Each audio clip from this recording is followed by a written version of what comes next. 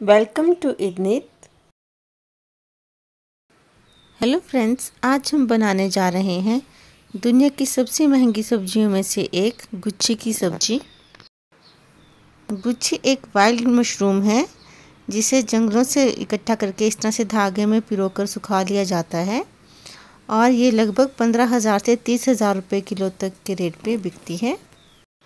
गुच्छी से कई प्रकार की मेडिसिन्स बनाई जाती हैं और इसे भारत से विदेशों में एक्सपोर्ट किया जाता है। गुच्छी को बनाने के लिए इसे सात से आठ घंटों के लिए पानी में भिगो दिया जाता है। इसे धागे में से निकालकर पानी में भिगो लेंगे। गुच्छी को बनाने से पहले पाँच से छः बार अच्छे से पानी में धो लें, क्योंकि इसमें मिट्टी चिपकी होती है। अगर ये अच्छे से साफ़ नहीं हुई तो खाने में बिल्कुल भी अच्छी नहीं लगेगी। मैंने इसे छः बार धो लिया है। अब इस तरह से दबाकर इसका पानी निचोड़ लेंगे। अब हमने बड़े मशरूम्स काट लिए हैं। छोटों को हमने वैसे ही रहने दिया है। हमने यहाँ पर दो लाल मिर्च, दो लौंग, दालचीनी, बड़ी इलायची, तेज पत्ता व आधा चम्मच जीरा ले लिया है। एक कढ़ाई में देसी घी गरम कर लिया है। इसमें हम सबसे पहले लाल मिर्च डालेंगे। फिर जितने भी हम, हमने खड़े मसाले लिए थे, तेज पत्ता, दालचीनी, बड़ी इलायची, लौंग वगैरह और जीरा डाल लेंगे अब हम इसमें एक बारीक कटा हुआ प्याज डाल लेंगे प्याज को हमें गोल्डन ब्राउन होने तक भूनना है। बारीक कटा हुआ लहसुन व अदरक डाल लेंगे, या फिर इनका पेस्ट भी डाला जा सकता है। इसे भी हमें अच्छे से भून लेना है। फ्रेंड्स अगर आप प्राकृतिक रूप से दमकती हुई त्वचा पाना चाहते हैं तो ऑर्गेनो ब्लूज़ के natural skin care product use कीजिए। Organo Blues 100 percent natural organic products बनाती है। ऑर्गेनो ब्लूज़ में आपको अलग अलग स्किन कंडीशंस के लिए कोल्ड प्रोसेस सोप्स मिल जाएँगी। मार्केट में मिलने वाली ज़्यादातर सोप्स हॉट प्रोसेस से बनाई जाती हैं, जबकि ऑर्गेनो ब्लूज़ में कोल्ड प्रोसेस्ड सोप्स मिलती हैं। कोल्ड प्रोसेस में सोप्स को कम तापमान पे बनाया जाता है, जिससे कि इसमें यूज़ किए गए सभी इंग्रेडिएंट्स का भरपूर फ़ायदा आपको मिल सके।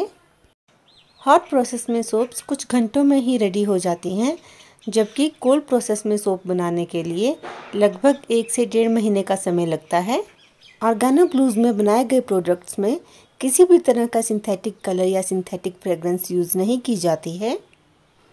ऑर्गेनो ब्लूज़ के प्रोडक्ट्स में कोई भी हार्मफुल केमिकल जैसे कि पैराबेंस या फिर एसएलएस नहीं डाला जाता है।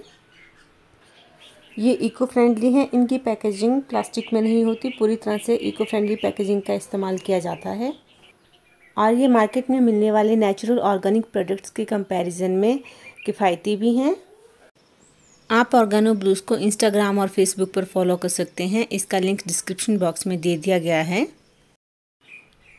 ऑर्गेनो ब्लूज़ की वेबसाइट पर जाकर आप शॉपिंग कर सकते हैं। लिंक डिस्क्रिप्शन बॉक्स में दे दिया गया है। ऑर्गेनो ब्लूज़ के प्रोडक्ट बहुत ही जल्द अमेज़ोन और फ्लिपकार्ट पर भी अवेलेबल हो जाएँगे। आप एक बार ऑर्गेनो ब्लूज़ के प्रोडक्ट ट्राई करें। डिफरेंस आप खुद फील करेंगे। अदरक और लहसुन भी भून गए हैं। अब हम इसमें पिसे हुए टमाटर डाल लेंगे। मैंने यहाँ पर दो छोटे टमाटर लिए हैं। टमाटर अच्छे से भुन गए हैं, इनसे ऑयल सेपरेट हो गया है। अब इसमें आधा चम्मच हल्दी, एक चौथाई चम्मच लाल मिर्च पाउडर। आप स्वादानुसार लाल मिर्च पाउडर डाल सकते हैं। स्वादानुसार नमक मैंने एक चम्मच डाला है। अब हम इसमें कटी हुई गुच्छी डालकर लगभग दो मिनट के लिए लो फ्लेम पर फ्राई कर लेंगे।